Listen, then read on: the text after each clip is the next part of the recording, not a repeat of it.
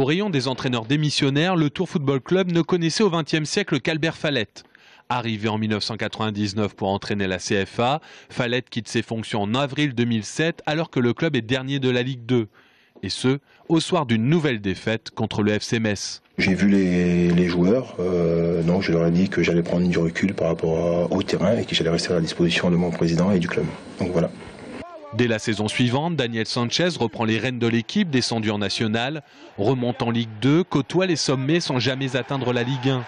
Après les espoirs et les déceptions, Sanchez s'en va à Valenciennes en juin 2011, club dont il sera limogé en octobre 2013.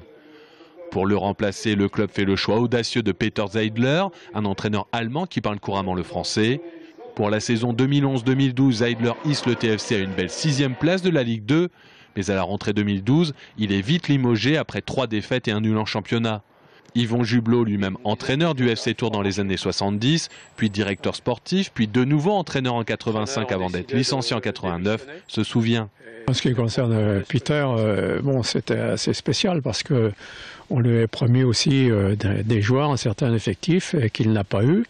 Et d'ailleurs, dès que Marty a, fait venir ces, trois nouveaux joueurs, on, on, a commencé à gagner. Et on s'en est sorti, on a fait une très très bonne fin de saison. Bernard Blacard, directeur du centre de formation de l'époque, fait l'intérim de Peter Zedler avec dans ses rangs Brian Bergugnou, Pascal Béranguet et Xavier Thomas, recrutés en août 2012. Un intérim qui va durer longtemps jusqu'à la fin de saison et la vente du club par Frédéric Sebag.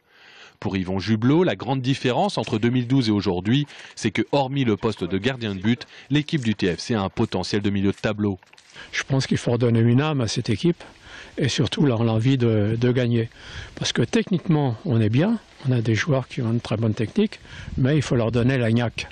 Et je pensais que Olivier leur donnerait, parce qu'avec le tempérament qu'ont les Corses, on peut compter sur eux pour donner cette gnaque. Mais là, apparemment, cette saison, ça n'a pas pris. Bon, peut-être par, par, dépit, par, déception de la non-valorisation de cette équipe.